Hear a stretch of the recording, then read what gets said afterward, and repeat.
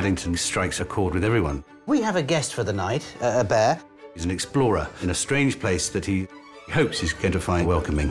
London is so important to him, to the stories. Although he comes from darkest Peru, he settled in London. The truth is, he has, over the years, become a bit of an icon. Grizzly? Not particularly. Mind you, I haven't seen him in the mornings. This trail is a wonderful way of bringing that to life. In a way, you can be like Paddington, a great explorer.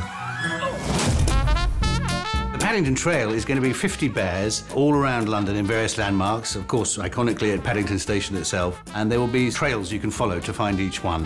What's going to happen with these bears is they're going to be auctioned off, and the proceeds of the auction are going to go towards the NSPCC. The NSPCC is as much part of the fabric of Britain as Paddington has become. The NSPCC are the Mr. and Mrs. Brown for children who are at risk of being neglected. We want every child to have a really wonderful start in life. And so I think it's a perfect marriage of a wonderful charity and an adorable, iconic figure.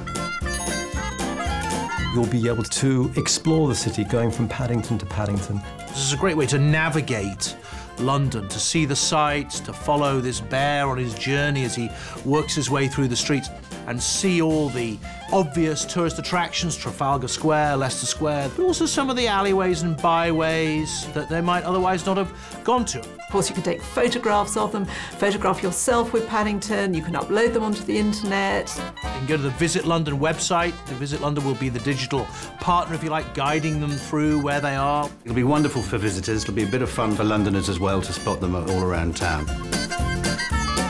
I hope this trail will make people look at London with fresh, open eyes.